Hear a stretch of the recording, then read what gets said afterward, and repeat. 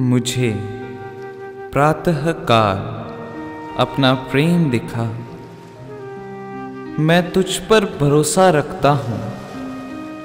मुझे सन्मार्ग की शिक्षा दे, क्योंकि मैं अपनी आत्मा को तेरी ओर अभिमुख करता हूँ।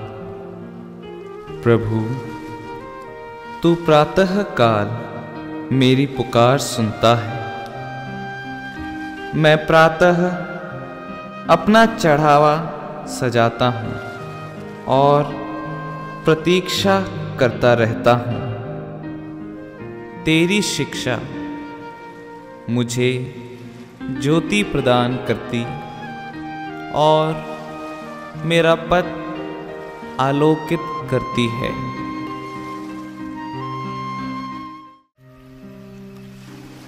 का पवित्र वचन। पाँच जून 2018 पहला पाठ, संत पेतरुस का दूसरा पत्र, अध्याय तीन, पद संख्या 11 से 15 और 17 से 18 आप लोगों को चाहिए कि पवित्र तथा भक्तिपूर्ण जीवन व्यतीत करें और आनंद से ईश्वर के दिन की प्रतीक्षा करें। उस दिन आकाश जलकर विलीन हो जाएगा और मूल तत्व ताप के कारण पिघल जाएँगे। हम उसकी प्रतिज्ञा के आधार पर एक नए आकाश तथा एक नई पृथ्वी की प्रतीक्षा करते हैं, जहाँ धार्मिकता निवास करेगी।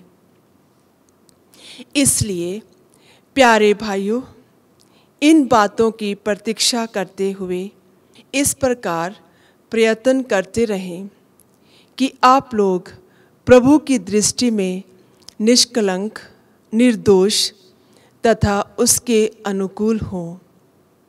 यदि प्रभु अपनी सहनशीलता के कारण देर करते हैं तो इसे अपनी मुक्ति में सहायक समझें। जैसा कि हमारे भाई पौलुस ने अपने को प्रदत्त प्रज्ञा के अनुसार आपको लिखा है। प्रिय भाइयों, मैंने आप लोगों को पहले से ही संचेत किया है। आप सावधान रहें।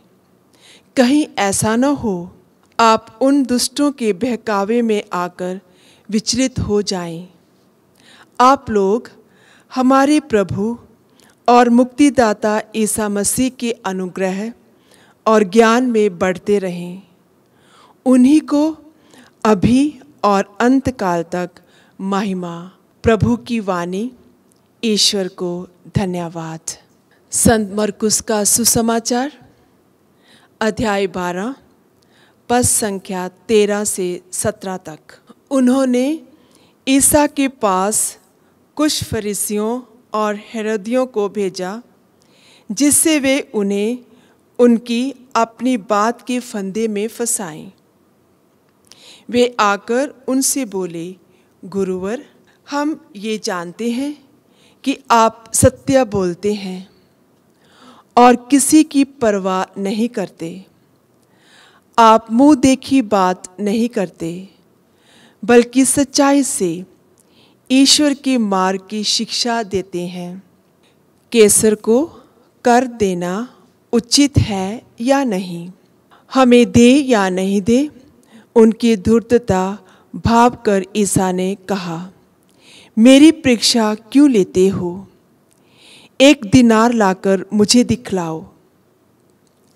वे एक दिनार लाए और ईसा ने उनसे पूछा, ये किसका चेहरा और किसका लेख है? उन्होंने उत्तर दिया, केसर का। इस पर ईसा ने उनसे कहा, जो केसर का है, उसे केसर को दो, और जो ईश्वर का है, उसे ईश्वर को। ये सुनकर वे बड़े अचंभे में पड़ गए। प्रभु का सुसमाचार, क्रिस्त की जय।